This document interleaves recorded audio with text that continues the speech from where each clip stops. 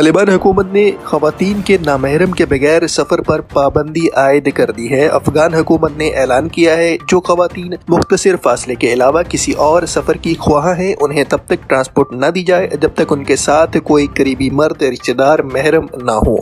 वजारत बरए अमर बिल मारूफ, नहीं अनिल मुनकर की जारी करदा हिदायत में तमाम गाड़ियों के मालिकान से कहा गया है कि वो सिर्फ़ हजाब पहनने वाली खातन को सफारी दे। वजारत के तर्जमान सादिक आकिफ महाजिर ने कहा है कि बहत्तर किलोमीटर से ज़्यादा सफ़र करने वाली खातन को सवारी की पेशकश नहीं की जानी चाहिए, अगर उनके साथ खानदान का कोई करीबी फर्द या महरम न हो।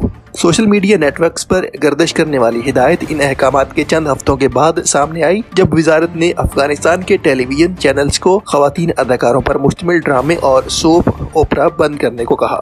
वजारत ने खातन टी वी सहाफ़ियों से भी कहा था कि वो हिजाब पहने, आकिफ मुहाजिर के मुताबिक सफ़र की ख्वाहिशमंद खातन के लिए हिजाब भी ज़रूरी होगा। वजारत की हिदायत में लोगों से ये भी कहा गया है कि वो अपनी गाड़ियों में मौसीकी बजाना बंद कर दें। तालिबान के हिजाब की तशरी जो बालों को ढांपने से लेकर चेहरे के नकाब या पूरे जिसम को ढांपने तक हो सकती है, गैर वाजे है और अफगान खातन की अक्सरियत पहले ही सर पर अस्काफ लेती है।